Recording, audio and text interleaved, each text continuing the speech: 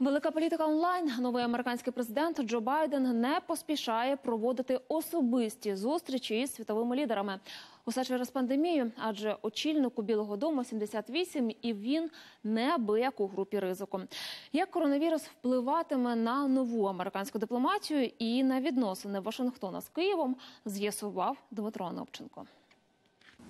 Про майбутню політику будь-якого американського президента, який тільки но приходить до влади, зазвичай прийнято судити, виходячи із того, і з ким він проведе свої перші телефонні переговори, і з ким зі світових політиків вперше зустрінеться особисто, і до якої закордонної країни здійснить свій перший міжнародний візит. Американська зовнішня політика, американська дипломатія зазвичай глибоко символічні, і саме таким чином, обираючи перших, нова владна команда зазвичай демонструє свої пріоритети, але не цього разу.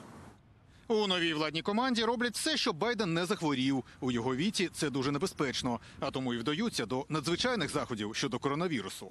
Наприклад, відомо, що перед тим як новий президент переїхав у резиденцію, там провели найдорожче в історії Білого Дому генеральне прибирання. Витратили 170 тисяч доларів, 120 з яких на дезінфекцію східного крила, зокрема президентського кабінету і особистих покоїв після Трампа і його сім'ї.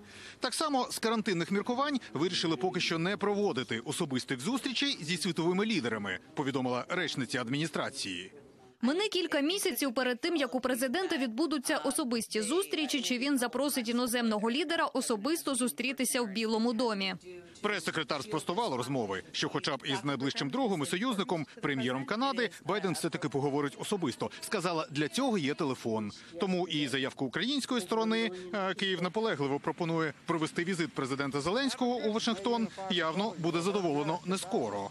Через коронавірус зараз весь світ розмовляє в скайпі або у зумі. Втім, для політиків це не варіант надто небезпечно. А от телефонні лінії навпаки захищені від прослуховування. Про це мало хто знає. Але Сполучені Штати для ключових країн-партнерів, зокрема і для України, навіть провели спеціальні захищені телефонні лінії. І саме така з'єднує Київ і Вашингтон, офіс президента і ситуаційну кімнату у Білому домі. Є такі лінії із Парижем, є із Берліном. І саме тому перші перемовини із Байденом і будуть лише телефонними.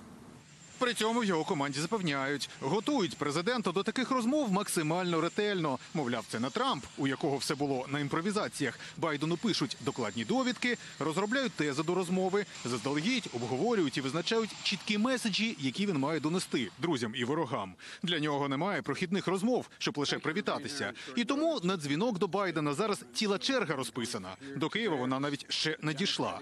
Втім, є ще одна традиція: новий президент обов'язково має поговорити зі своїми попередниками, формально спитати поради, але це якраз більше ввічливість. Знак, що за будь-якого глави держави влада залишається відкритою. І у Білому домі вже повідомили, Байден встиг поговорити із усіма колишніми американськими президентами за винятком одного лише політика. Ну і нам з вами, мабуть, і без офіційних роз'яснень зрозуміло, що це за людина. З Вашингтона Дмитро Анопченко, Сергій Коваль, американське бюро телеканалу Інтер.